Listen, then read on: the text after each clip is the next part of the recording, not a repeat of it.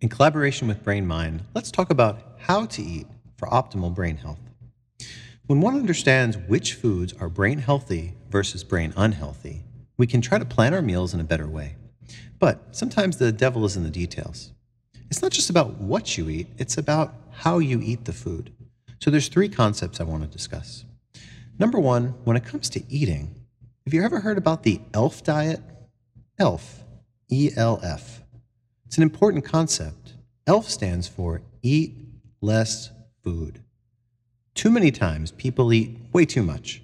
Portion control and portion size is key. So try to understand serving sizes.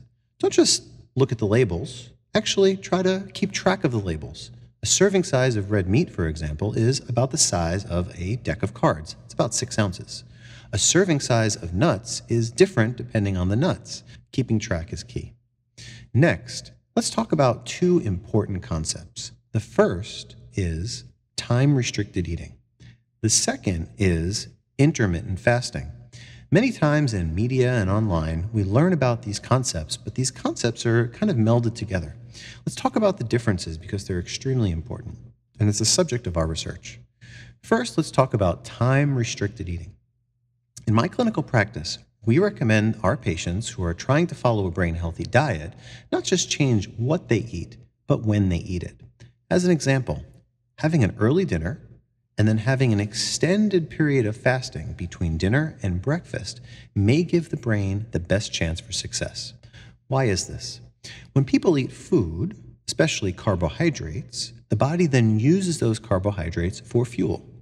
The brain can only use two types of fuel glucose or sugar, which are breakdown products from carbohydrates, or fats, specifically ketone bodies. And we'll talk about more of that in a second.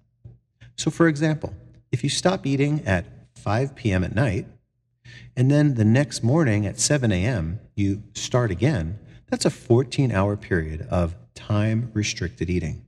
Somewhere between that 12 and 13 hour mark, the body is really running out of carbohydrates. So it goes and defaults back to a cleaner burning fuel called ketone bodies. And once we hit 14, 15, or even 16 hours, that's when we can possibly press the brakes on brain aging during that time. So let's talk about cleaner burning fuel let's talk about time restricted eating and talk about frequency. How many times a week should someone try to pursue time restricted eating? Well, unfortunately, we don't know the answer to this. In our clinical research, we've tried to study this, but the jury's still out. Is 12 hours enough? I don't think so. Is 14 to 16 hours a better target? I believe yes. Is 16 to 18 hours a better target? Well, for some people who can handle it, possibly yes. But we need to do more research to understand. Should someone do time restricted eating every single day? In our clinical practice, we don't exactly recommend that. And while, again, the research is pending, we recommend in our clinical practice four to five days a week periods of time restricted eating of 14 to 16 hours between dinner and breakfast. We do this slowly over time. Certain people have no issues at all with fasting. Other people get headaches. They feel sick. They're not focused. Usually, over time, if someone slowly increases the interval between dinner and breakfast, they're able to tolerate longer periods of this time restricted eating. So, I'm using a very specific term, but let's transition to intermittent fasting. My definition of intermittent fasting is different. It's when someone truly fasts for an extended period of time usually at least maybe even up to 24 hours. There are some very interesting emerging studies that will hopefully clarify what the optimal time to time restrict your eating versus fast.